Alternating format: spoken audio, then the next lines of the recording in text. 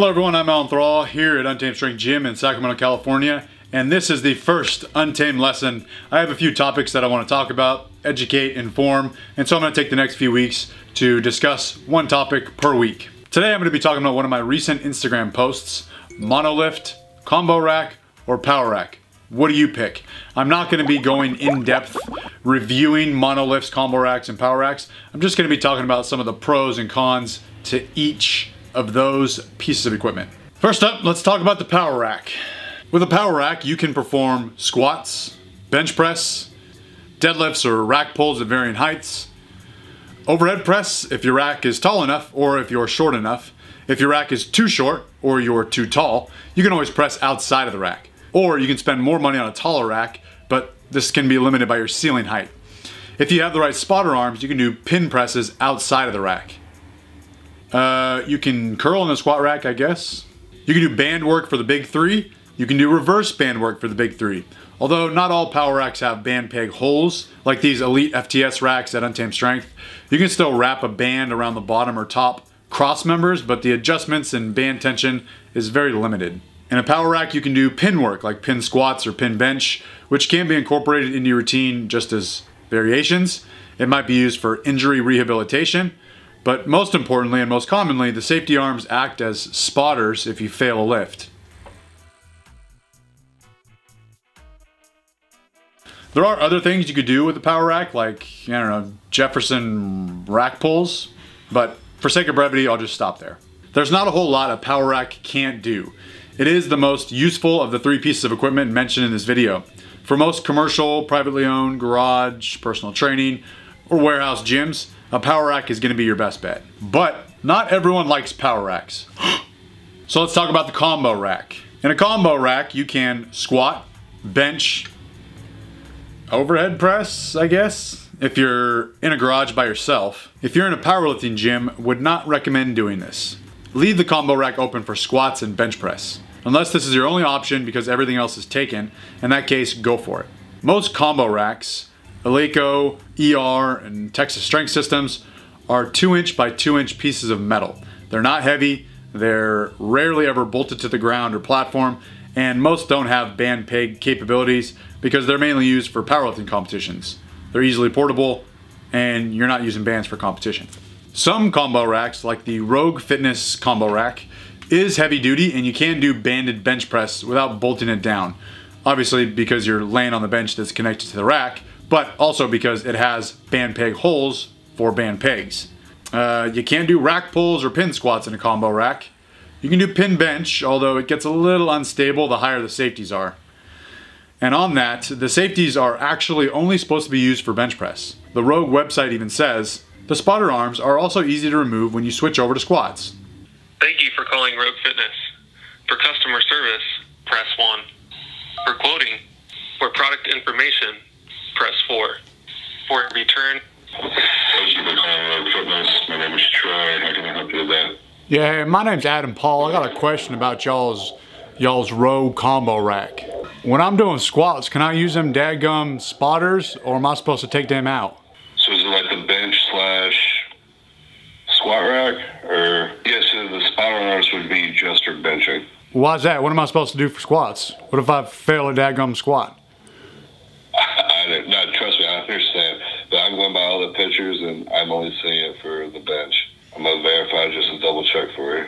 Appreciate it. Have you tried putting the spotter arms on there or no? Yeah, they're on, but the website says that to remove them when you switch over to squats. I'm wondering why the heck that is.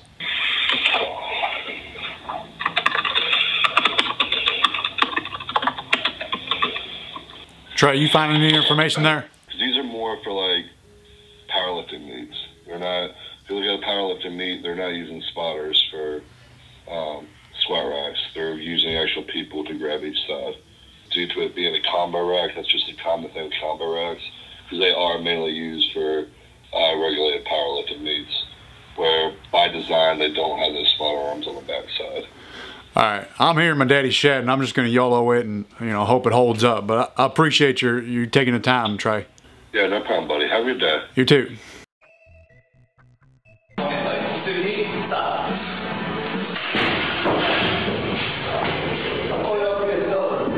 From a safety standpoint, a combo rack is just less safe than a power rack.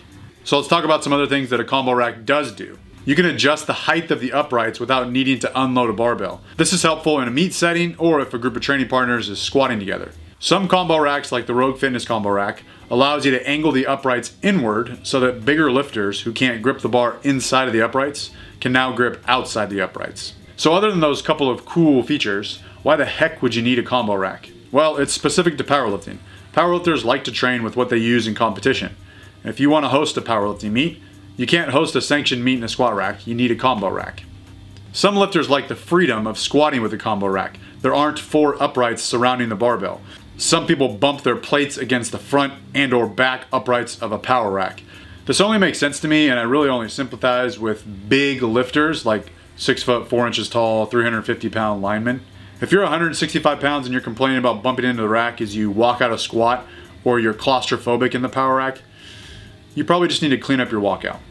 With that said, you could just purchase a deeper squat rack or a power rack with 2 by 3 inch uprights instead of 3 by 3 inch uprights like the R3 versus the Rogue Monster Lite series. And a monolift. With a monolift, you can squat.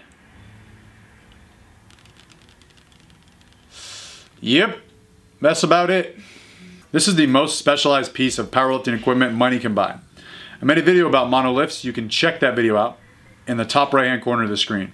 The main benefit of using a monolift is not needing to walk out your squat. Once the lifter stands up, the J-hooks swing away, allowing them to squat without moving their feet and stepping back. Once they're finished, the hooks swing back into position, the lifter racks the bar.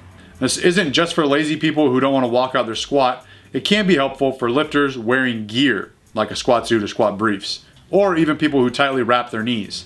Being restricted by gear makes walking difficult and dangerous, especially when you're walking backwards with hundreds of pounds on your back. Now there are lifters who do wear gear and still walk out their squats, but that's a little more rare to see. Another pro to the monolift, if you have bands and chains loaded up and attached to the bar, walking back can quickly get hairy, so not having to do that is helpful. This is especially true if you're walking back to a box, because then you run the risk of bumping the box on your walkout. So not needing to worry about all that stuff makes the monolift the preferred squat apparatus for some people. Monolifts also allow the uprights to be adjusted in and out and up and down, so multiple lifters can train together at the same time on the same rack, regardless of weight on the bar. You can do banded squats and good mornings, even reverse band squats and good mornings. It's just a little more difficult to rig up reverse bands, and it's just overall less customizable than a power rack. Some downsides to the monolift. Well, other than the fact that you can really only squat out of it, you need a training partner to fully operate the monolift. So you solo cellar dwellers probably have no business purchasing a monolift. They aren't very safe because if you fail a squat, it's just Jesus Christ spotting you.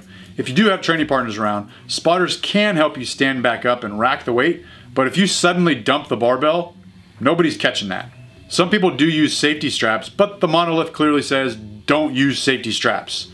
These are only intended for suspended good mornings. They're not made for catching 800 pounds.